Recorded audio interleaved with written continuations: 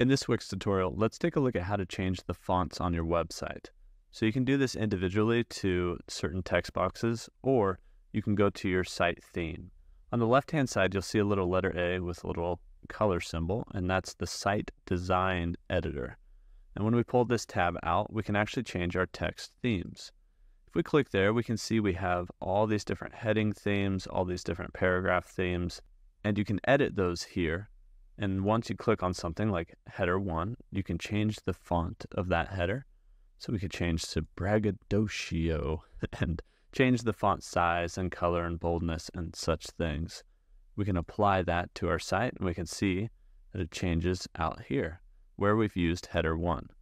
Now we can then change the text theme just by clicking on that and adjusting all of these at once. So I can scroll down here and look between different combinations like impact for headers or Oswald medium.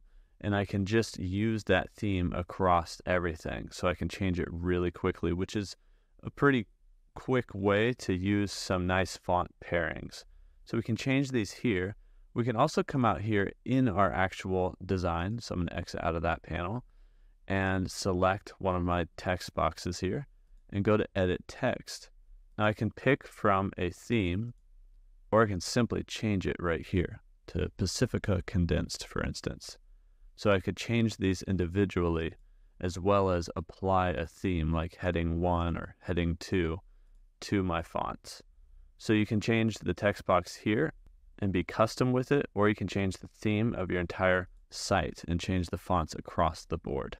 That's how you can change your fonts here on your Wix website.